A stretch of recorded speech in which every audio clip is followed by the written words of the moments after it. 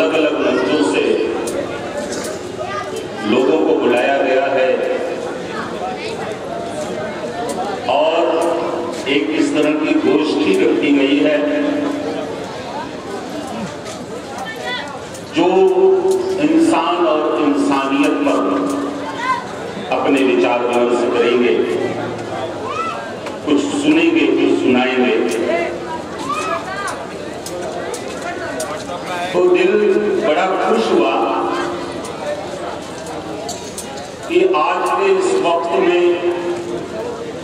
जहाँ लोग केवल अपना अपना सोच रहे हैं, वहाँ पर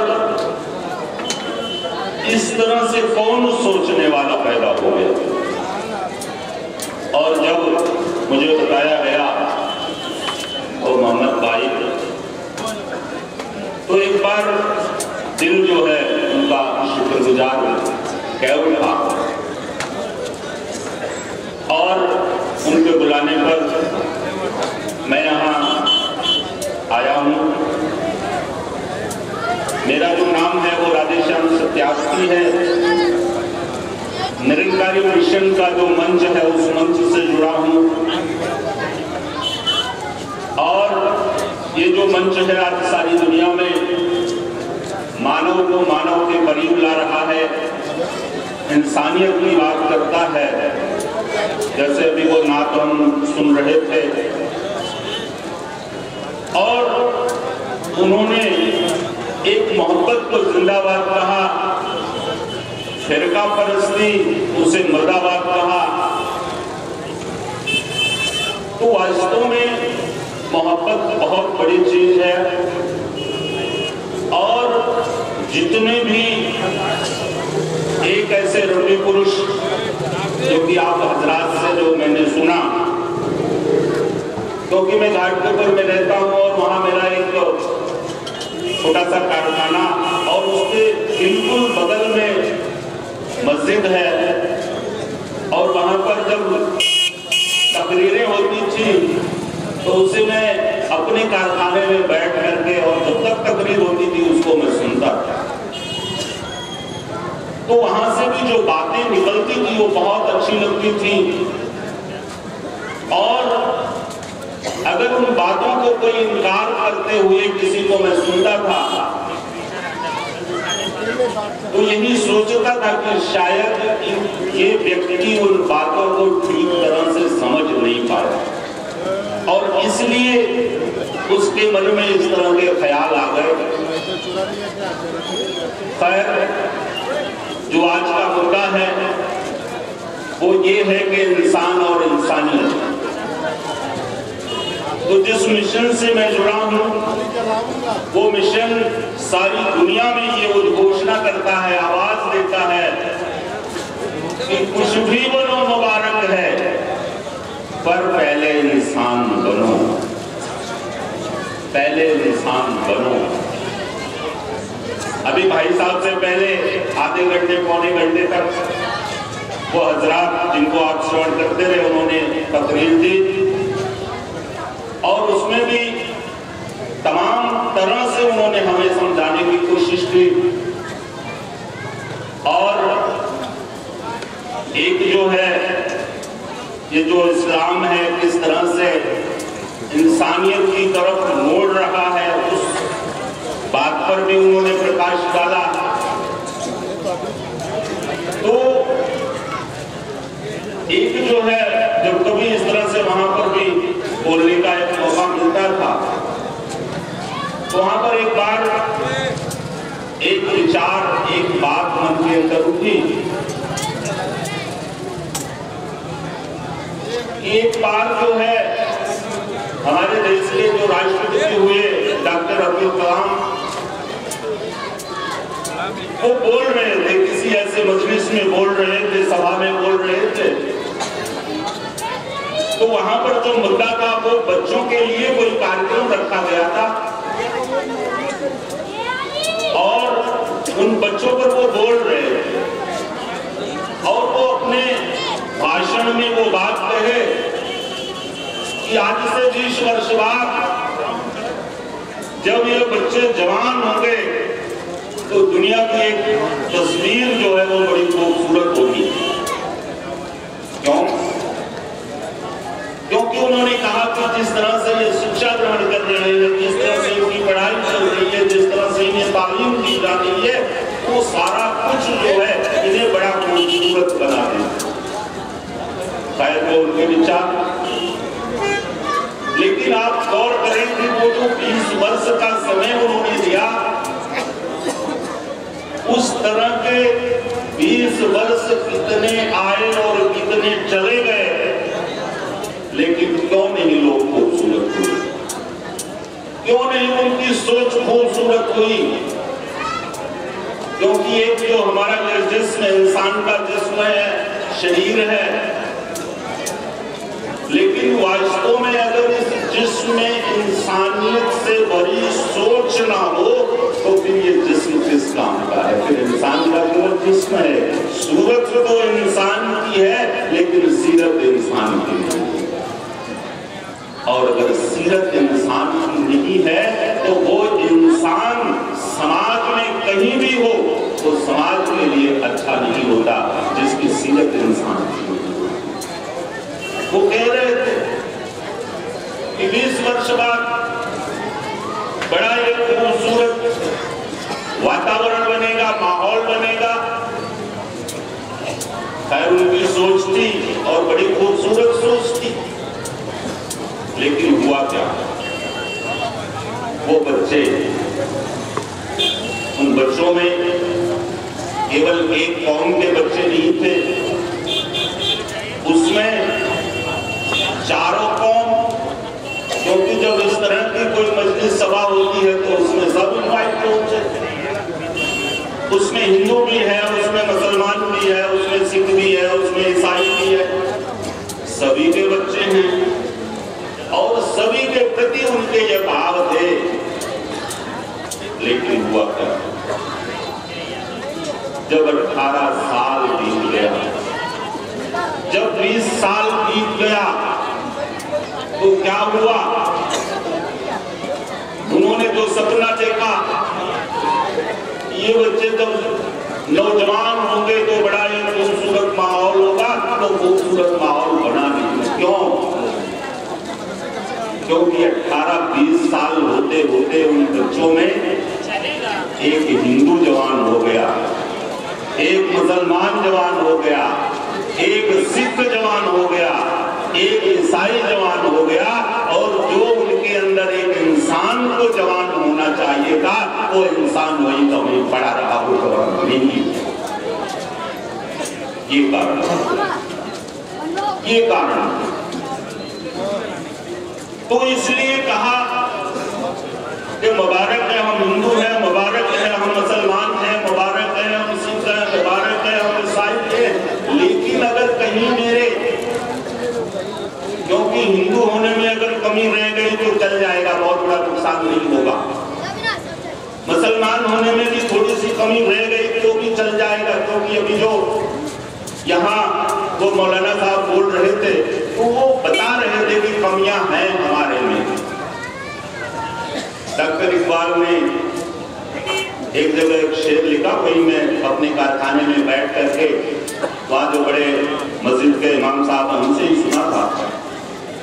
डॉक्टर इकबाल का वो शेर कि काजी भी हो, सैयद भी हो, अफगान भी हो, अरे सब कुछ तो हो, बताओ मुसलमान भी हो, ये उनसे मैंने ये बातें इशारा करती है कि कुछ कमी है और वो कमी बहुत बड़ा नुकसान नहीं करेगी। हिंदू होने में कमी रह गई, वो बहुत बड़ा नुकसान नहीं करेगी। मुसलमान होने में कमी कुछ कमी रह गई, बहुत बड़ा नुकसान नहीं कर पाएगी। सिख होने में कमी रह गई, बहुत बड़ा नुकसान नहीं कर पाएगी। ईसाई होने में कमी रह गई, बहुत बड़ा नुकसान नहीं कर पाएगी।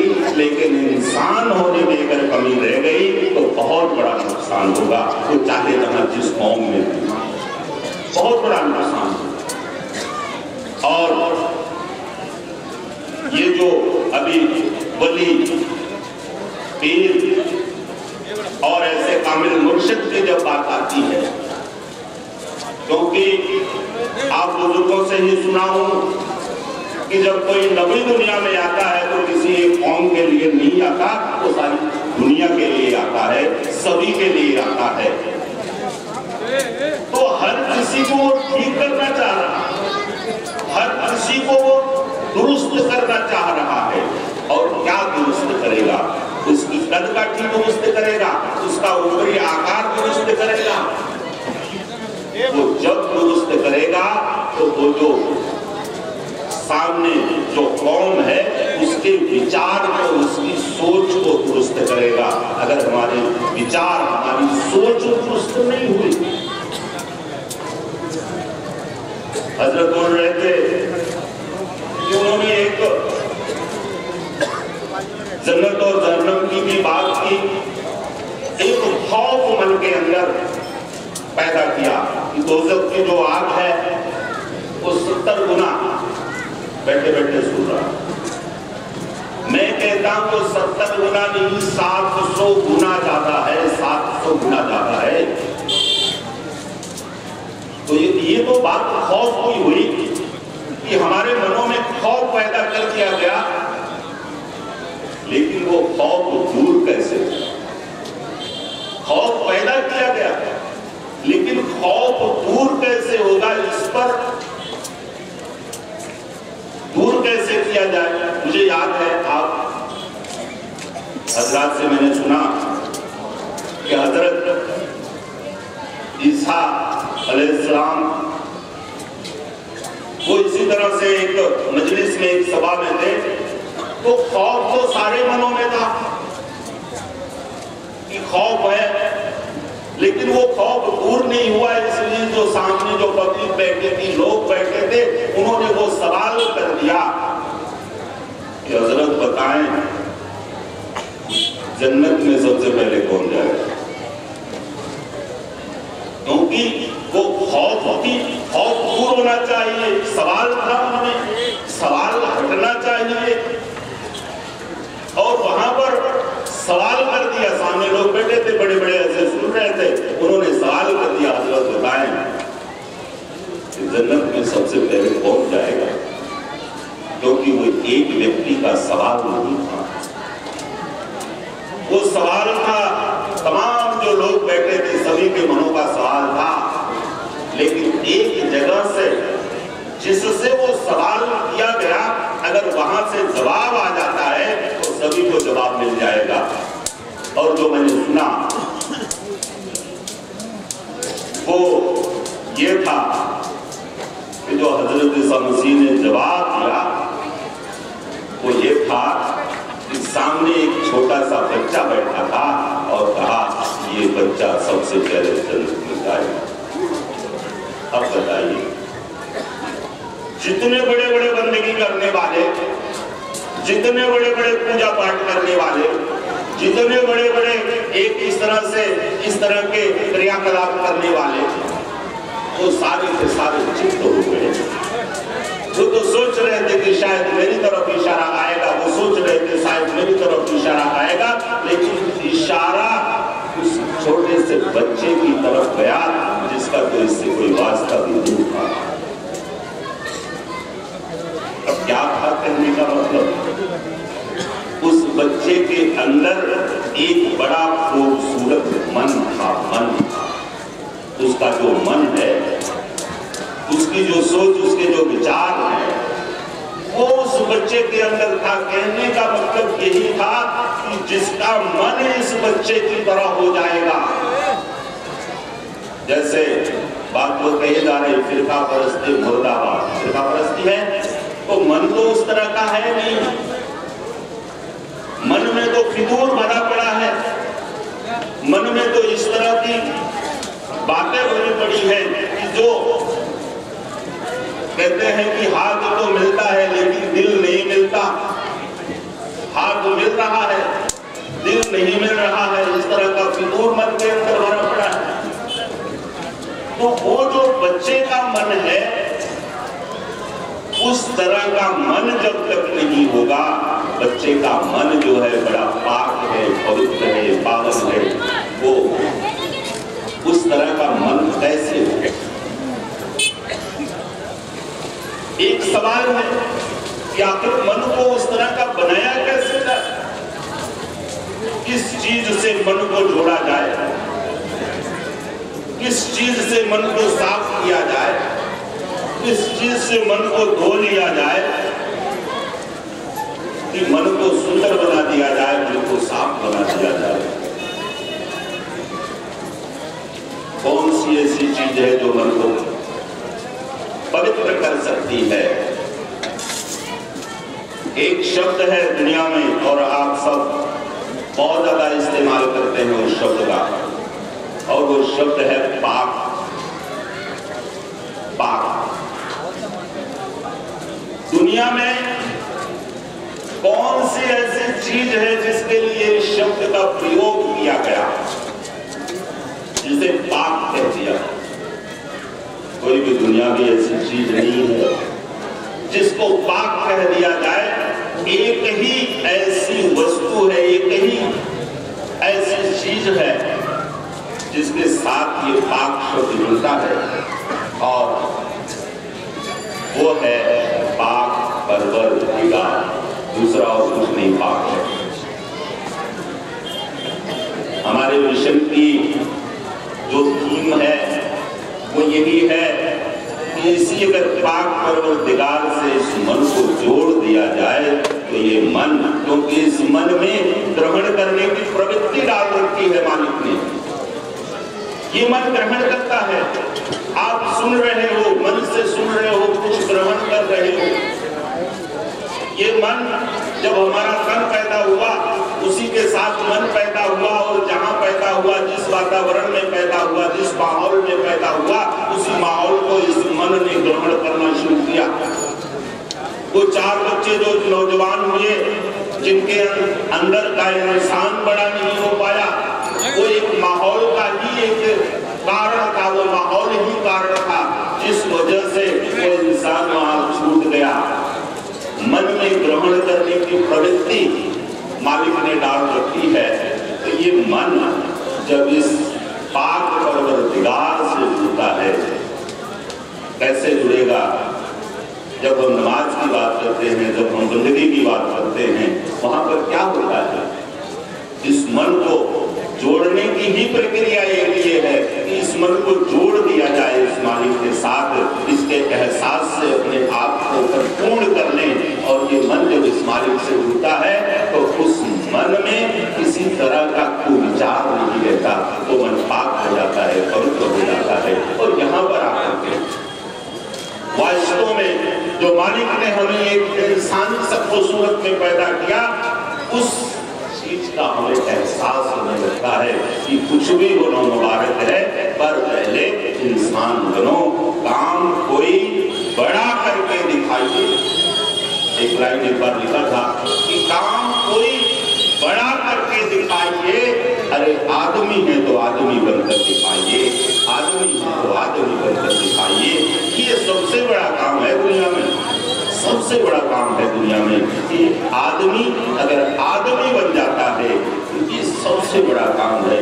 मुझे पहुँचा दी गई है और ऐसे ही हम जिस मंच से हैं, वहाँ बड़ा थोड़ा सा समय मिलता है और थोड़े से समय में अपनी बात को कहना होता है चीज़ मेरे पास आ गई है, समय का ख्याल करें और अगर इससे आगे मैं बढ़ता हूँ, वो मेरी गुस्ताखी होगी, कुछ शब्द आप यूँ रखे हैं, अच्छे लगे हों तो बस आपसे ही मिले हैं। और अगर कहीं किसी का दिल दुखा हो तो उसके लिए माफ़ करता हूँ बहुत बहुत